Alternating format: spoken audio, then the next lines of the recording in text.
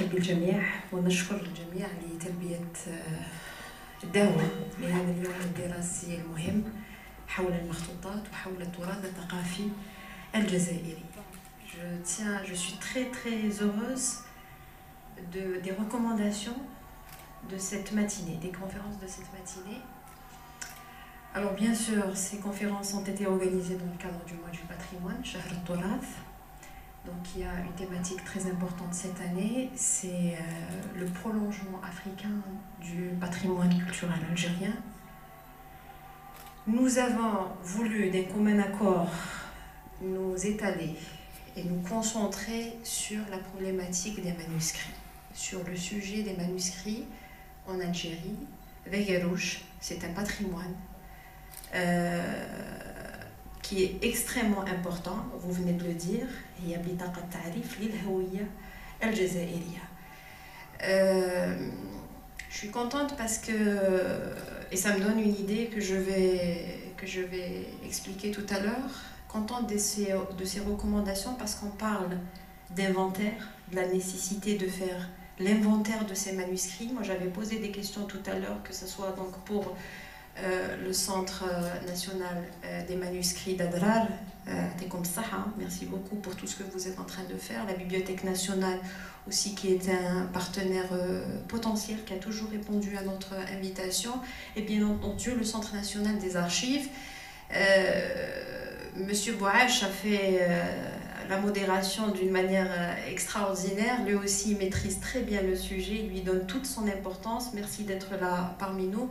ونشكر كامل الزوايا زوايا ولاد تيزي وزو اللي حاضرين معنا alors je disais la, les, la question de l'inventaire la question de, du travail en réseau euh, nous avons parmi nous trois centres qui sont, enfin deux centres et une bibliothèque nationale et Tanseriyat Zawaya.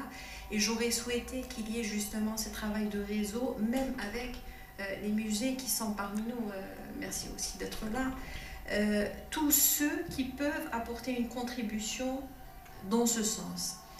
Euh, et le travail de la numérisation. Travail de la numérisation, de la promotion, euh, de l'ouverture, que, que ça soit accessible pour les chercheurs, pour les étudiants, pour donc tous ceux qui veulent travailler davantage sur notre mémoire collective, notre histoire et surtout, surtout l'identité algérienne avec l'ensemble de ses fondements. Moi, ça me donne une idée et ça m'encourage vraiment. Euh, je sais que euh, tous ceux qui sont là portent un intérêt particulier au sujet. J'aurais souhaité qu'on travaille tous ensemble pour un colloque sur le sujet.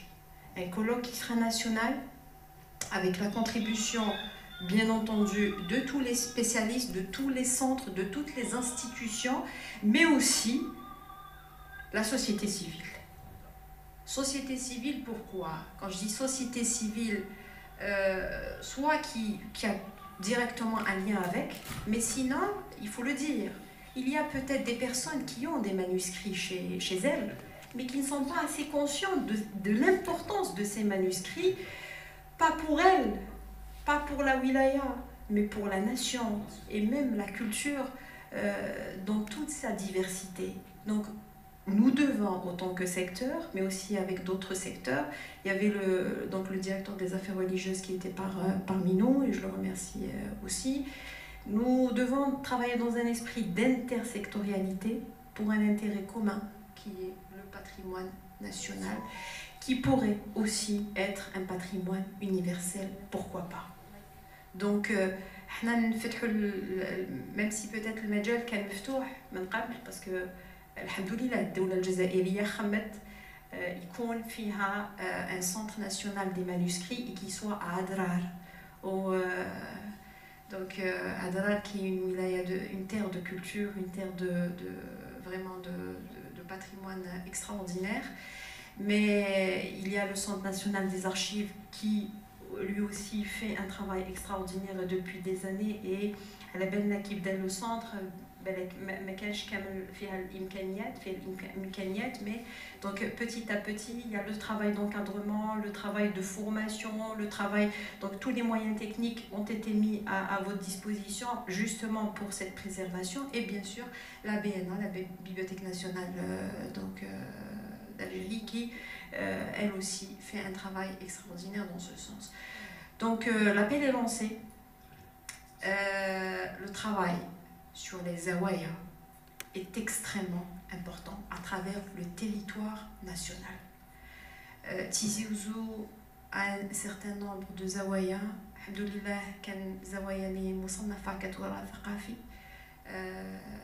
donc watani et il y a eu beaucoup de travail d'échange entre les Zawaya, notamment par le biais des semaines culturelles, des euh, échanges culturels entre les wilayas.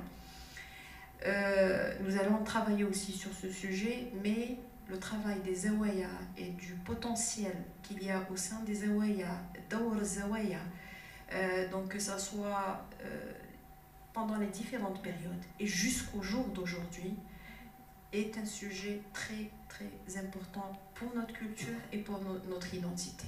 Donc, je suis comme